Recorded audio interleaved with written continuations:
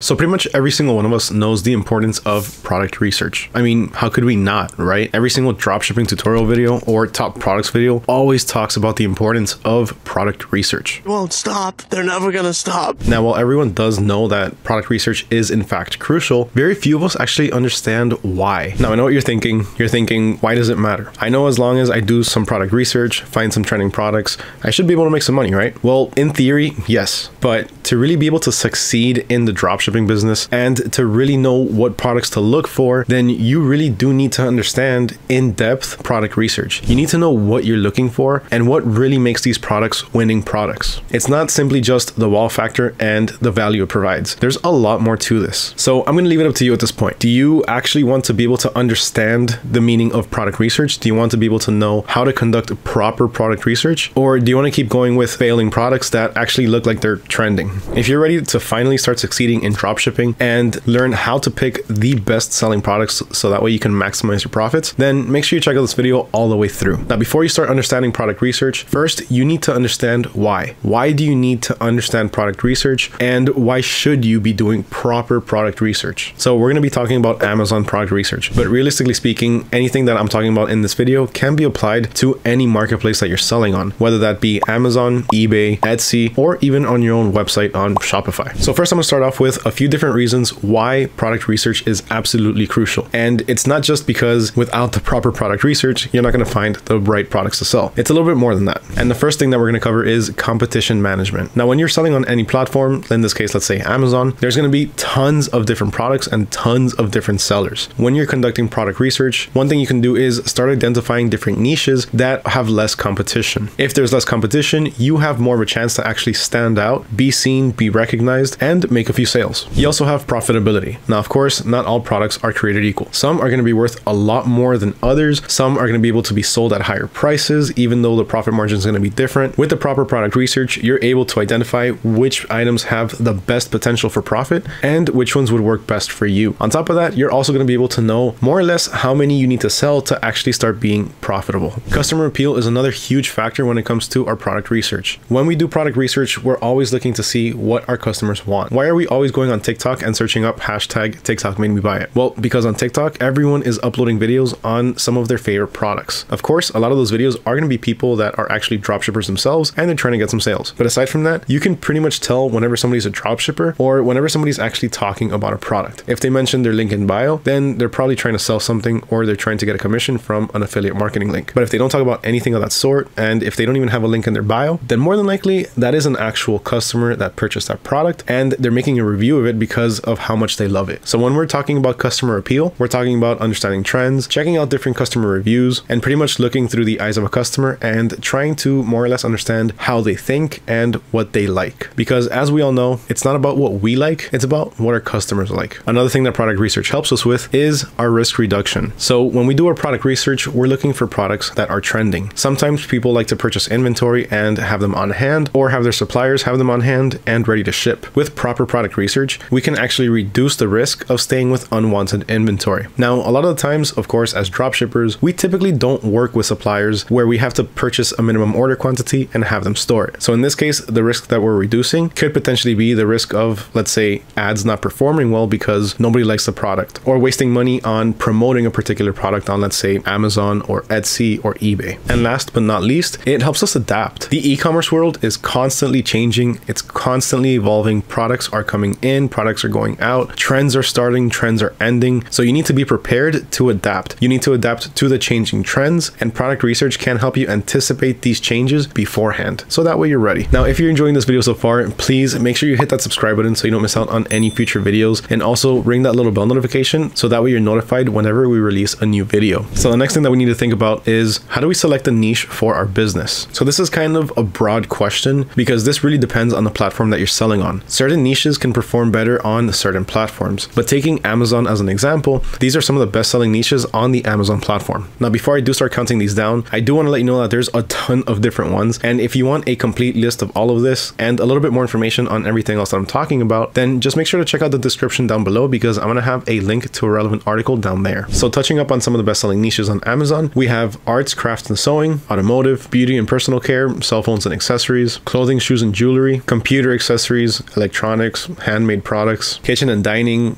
office products, toys and games, and honestly, the list goes on. On Amazon, you can pretty much find anything that you need, but these are just some of the top selling niches on there. Now, from those niches that I just talked about and pretty much any other ones, how do you find winning products? So, what is it that we're looking for exactly in each product? What are the different checkboxes that need to be checked off in the list of criteria for winning products? Well, for one, quality. Of course, we need to have quality products. We can't send our customer a product that's all scratched up or that breaks easily, right? We need to send them something that's quality and something that's going to last, something that they're going to open up and they're to think, wow, this is awesome. We need to make sure that our customers are happy with their products because if they're not, that's going to end up resulting in returns, chargebacks, and bad reviews. And ultimately, on the customers just not shopping with us anymore. We also need to look at price. The products we sell can't be too expensive. They can't be too expensive for us to source, and we can't sell them at too much of a markup because if we do, our customers aren't going to buy them. And if we purchase our products at a very high price and then we try to price them competitively, then we could potentially be losing out on money. So you need to make sure that the product you're sourcing is just the right price to both source and sell. Demand is up next, and of course, this is pretty self explanatory. The products that we choose need to be in demand. We need to make sure that people actually want these products. We're not going to be selling fidget spinners, people don't want those anymore. Profit margin.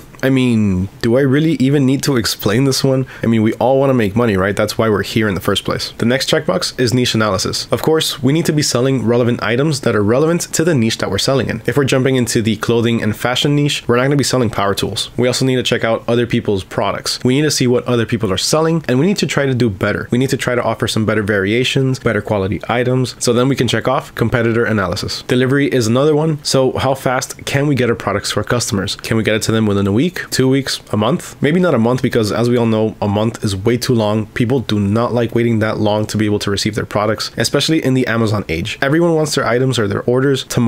Amazon has obviously spoiled absolutely everyone, but people are understanding about the fact that not everyone has the resources that Amazon does. Not every company can compete with Amazon, so people are okay with waiting one or two weeks for their items. Just anything more than that, you want to stay away. And we also need to check off returns. So if somebody doesn't like our items or somebody just decides that they don't want it anymore, we need to have a plan for our returns. All right, now that we know what to look for in our products, now we need to start figuring out what are the different research methods out there. So how can we start actually finding these products? So for this, there's two different ways. There's a manual way and there's the automatic way. First, let's start off with the manual way. Now, when you're doing your product research manually, you're actively looking for different products. You're not using any software, you're not using any tool. You're looking through different websites, you're looking through social media, different articles, whatever it is to be able to find these different products. And as you look at the different products, you're just checking off your criteria boxes. Now, the first way that we can do this is remember, we're taking Amazon as an example. So in this case, we're going to be checking out our Amazon best sellers. So when you're on the Amazon best sellers page, you can pretty much see all of the trending items on Amazon right now. These are all of the different items that are consistently selling and people are actively looking for. Now, as you can see here, there's a lot of brand name items, and that's because it's Amazon. But think of it this way so they have air filters. You don't necessarily have to sell a brand name air filter. You can look for some generic brand filters and start selling those as well. Same thing goes for, let's say, this Stanley Cup. Of course, I don't know about you guys, but in my area and pretty much everywhere I look, everyone has these Stanley Cups. Everyone is always walking around with them. But when I went to purchase one, it was like $45. And I thought, I don't want to spend $45 on one of these. So then you can start looking on, let's say, AliExpress and start finding some different variations for it. Some cheaper options, some better looking options, and then you can offer that. Now, the bestseller section isn't just limited to Amazon. Pretty much any online store has a bestseller section. You can go to AliExpress, eBay, Etsy, CJ Dropshipping, or wherever it is that you make your purchases, and you're always going to find a bestseller section or a top product section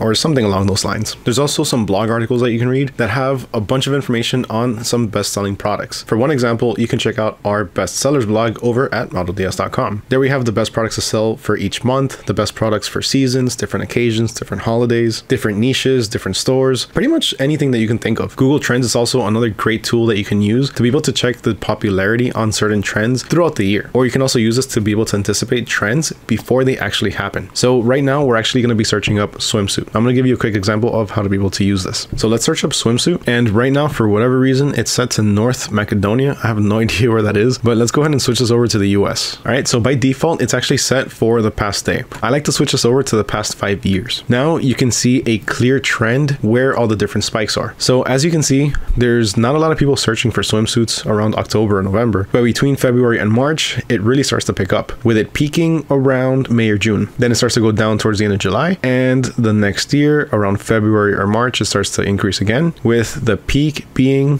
again around July. Then it starts to dip, and it's just the same thing over and over. So now you know you want to start stocking up on swimsuits, if that's what you're selling, around February or March. So that way you can be ready for peak season around summertime or right before summertime. Google Lens is also another awesome free tool. So right now we're checking out the same Stanley Cup that I was talking about earlier. And all we're going to do is we're going to right click it and then search images with Google. Then it's going to ask us to select the image if it doesn't pick it up automatically. So in this case, what I'm going to do is I'm just going to go ahead and highlight the item itself. And then here on the right, we're going to have a little pop-up window with an image search. So instead of searching for text, it's going to search for this image. Now, if you scroll down, you're going to see a few different suppliers. So you can see that Stanley, the website has it for $35. Some people sell it for 45 on the same website. Keep scrolling, you have it for $74 on eBay. That's crazy. But what I'm looking for right now is knockoffs. So I'm trying to see if there's any items on here that are similar to it, but not exactly a Stanley brand item. Now, after a bit of scrolling, I actually came across this one right here. So this is a puzzle tumbler and it's actually only $17.99. So that's not bad. And that pretty much wraps it up for the manual ways of doing things. Of course, there's a few more ways, but if you want a bit more information on that, just go ahead and check out the link down in the description below to the relevant article. But aside from the manual way of doing things, we can also do things an automatic way. And in this case, what we're doing is using different tools or different software to be able to find some best selling products or some trending items. And the first one that we're going to talk about is the TikTok Ad Spy. Now, for this, you are going to have to have an account over at AutoDS.com. And if you don't currently have one, you can start your trial period right now for just $1. But once you have that set up and you're signed on, then you're going to come to this screen. By default, we're always going to go to the marketplace. But what we're looking for here is the TikTok Ad Spy. And for this, we're just going to look right under the tab that says marketplace and winning products and click on the TikTok Spy tool. Here you have pretty much every single ad that's running both paid and organically promoting different products on TikTok. Now, how do you have an organic ad? Well, it's pretty simple. It's just pretty much people making user generated content videos and posting them up. Just because they're not paying for it doesn't necessarily mean it's not an advertisement for the product.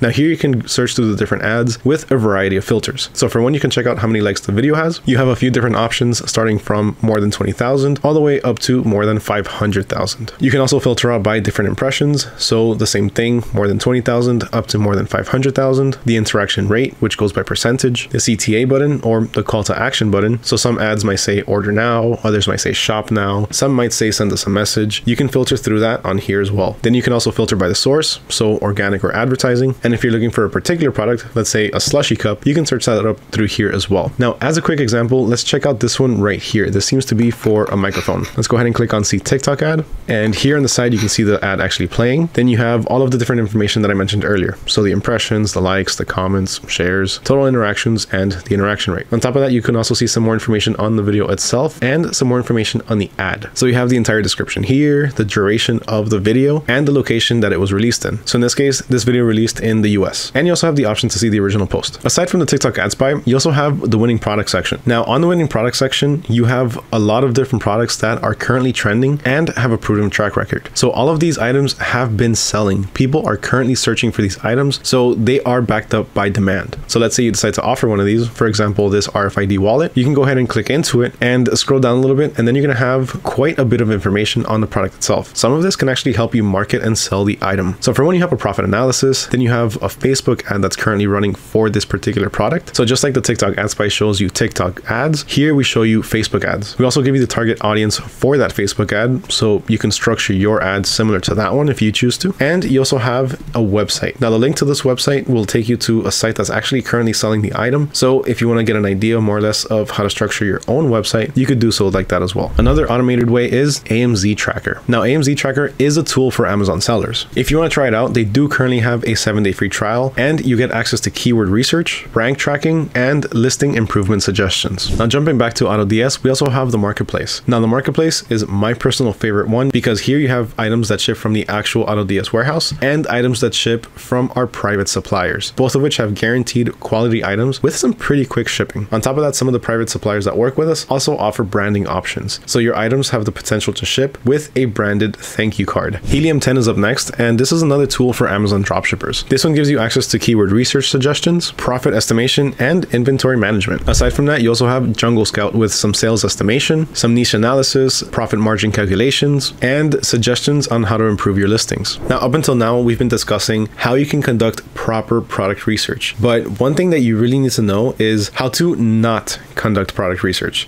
Wait, what? So there's a few things that you need to know that you really should not be doing when you're doing your product research. You shouldn't be selling items that you think are going to be profitable. Remember, not everyone thinks the way you do. Not everyone likes what you like. So just because you like it doesn't mean everyone else will. You need to make sure that the items you're selling are proven, people want them, and it's not just you. And trust me when I say that a lot of the times, you're not even going to like the product that you're selling. Remember, we're not selling to ourselves. We're selling to people and we need to offer people what they want. Also, make sure that when you do product research, you do product research on multiple products. Don't stick to maybe just five or six different products. Bring in the big numbers. Go into the 10s, 20s, 30s, 40s, hundreds. Do product research on multiple products. The more products that you're researching, the higher chance you are to come across one that's actually going to sell. You also don't want to spend too much time on products that either don't have enough demand or don't have enough people actually searching for it. This is ultimately a waste of time because if you do end up selling these products, you're going to be targeting a very small demographic of people, and chances are you might not even get a sale. You also don't want to try to go with products that don't have absolutely any reviews or that are brand new. You want to make sure that the products that you start researching have some sort of social proof. You want to make sure that people are searching for them, and you want to make sure that they have pretty positive reviews. And last but not least, you definitely want to make sure that you're not selling prohibited items. So each marketplace has a few categories of items that you shouldn't be selling, but for the most part, they're all pretty much the same. Now, for a full list of products that you shouldn't be selling, make sure you check out Amazon's guidelines